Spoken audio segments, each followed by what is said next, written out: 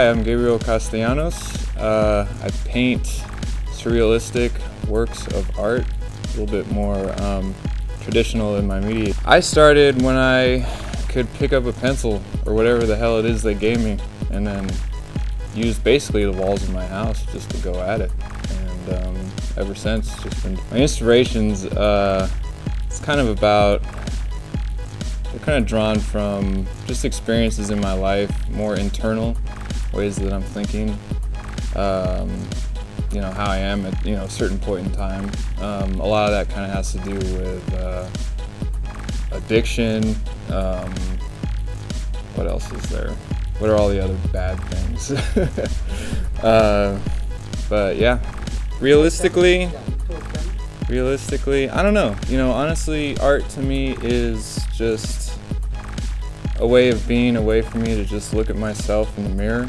Um, and uh, you know whatever comes of it comes of it you know. It's not about goals of like impressing people or you know making it out there uh, making money or any of that stuff you know. It's basically just a way of being for me uh, just to get through.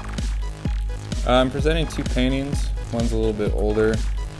Um, again it just sort of has to do with uh, exposing sort of an addictive personality that I have. It's pretty dark.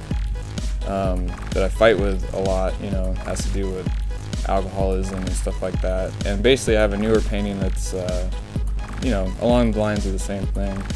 Um, you know, I kind of had this thing where I wanted to just, I want to expose that, you know, part of me so that it's sort of like getting back at it, like it got back at me. You know, I'm letting you know, I'm shedding light on it, you know, because it's such a thing within a person that it doesn't want to show itself, and you know, it takes a lot of uh, you know, a lot of guts to kind of get it out, you know, and, and confront it. So that's what I'm doing with my art uh, in these two pieces.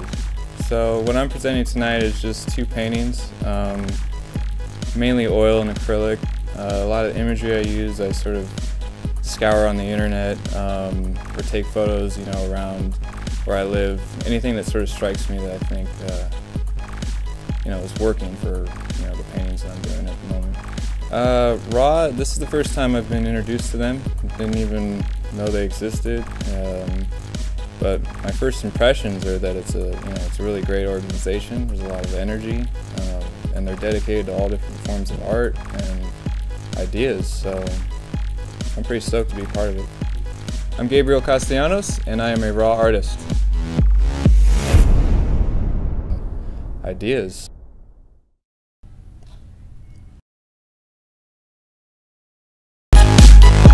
Artist.